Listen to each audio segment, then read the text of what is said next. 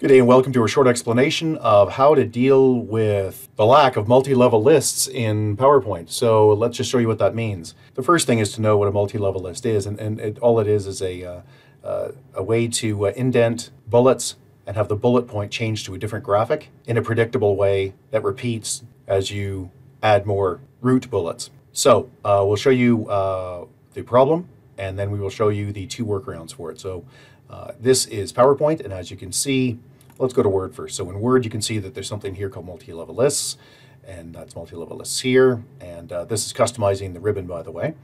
And uh, you can see that it's right here. That's multi-level lists. In PowerPoint, it's not there. It would be right here if it was, and it isn't. And you can also see right here, it isn't. It's just not there. You just get regular bullets here.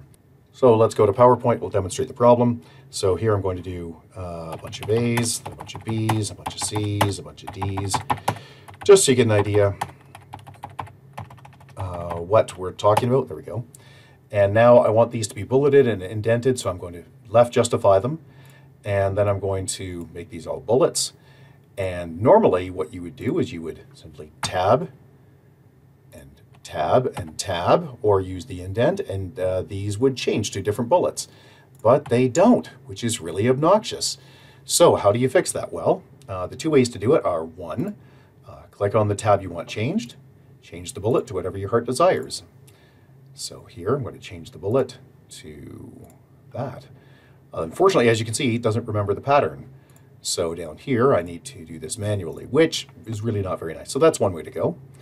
Uh, the next way to go is to simply copy paste from Word. So let's go into Word and we'll do the same thing. There we go. And I will do uh, uh, a multi-level list.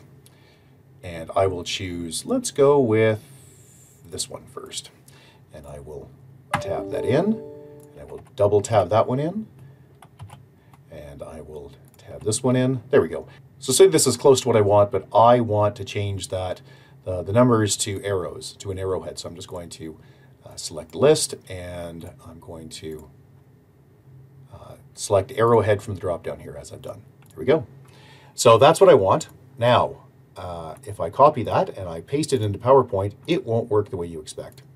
So let's go into here and I'll paste it and you'll see it just changed the darn thing back. Not very good. So um, what you have to do is right click and instead of selecting just paste, uh, which, it, which will uh, absorb the destination theme, you want to paste with uh, keep source source formatting. So let's do that. And there it is. And that is how you create multi-level lists in PowerPoint. If you have any questions about this, please get a hold of us at www.urtech.ca. Thank you. Bye-bye.